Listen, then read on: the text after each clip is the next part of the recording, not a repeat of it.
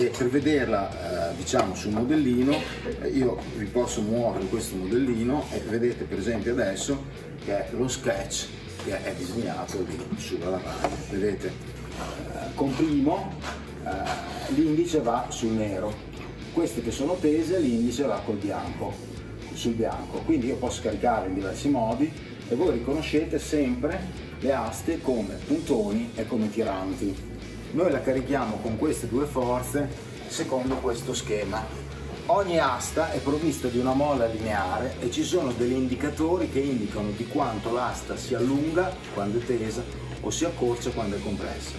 Avete cavi di precompressione in trazione si infila, infilano in sede i cavi nelle guide, ci sono i due ancoraggi e a questo punto abbiamo ottenuto una trave di precompresso che si regge da sola come vedete ed è in grado anche di reggere del peso. Adesso pian pianino toglie il pesettino. Ok ecco. Io adesso qui incastro questa trave usando questo oggettino. Questa vite va tirata bene avrò un asse neutro che è esterno questa volta, passa da qualche parte qui, abbiamo compressione su tutta la sezione eh, che è più bassa in questo punto e eh, cresce mano a mano che mi allontano e arrivo al punto qua in fondo. Il centro di taglio non è da quella parte là rispetto al baricentro perché se carico là la torsione aumenta. Bene, il centro di taglio è un punto esterno alla sezione che è messo qui, in questo caso e se io carico nel centro di taglio vediamo che la trave ha solo una flessione, non ha la torsione. Qual è piegazione? 40, 50, sotto muove bene. Allora immaginate che costruite la vostra presente da sopra. Quando c'è il terremoto, in un momento, giusto?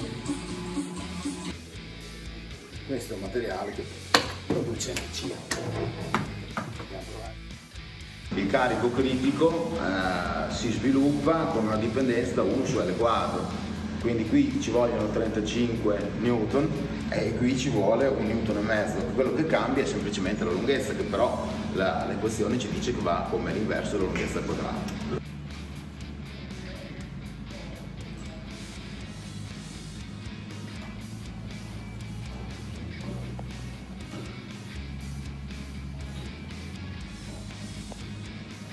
Per la quale l'asta è instabile e quindi c'è uno scatto del sistema a una configurazione di equilibrio non del adiacente. Ecco, avete visto. Questa struttura, come vedete, ha un carico critico in trazione. E lo state vedendo.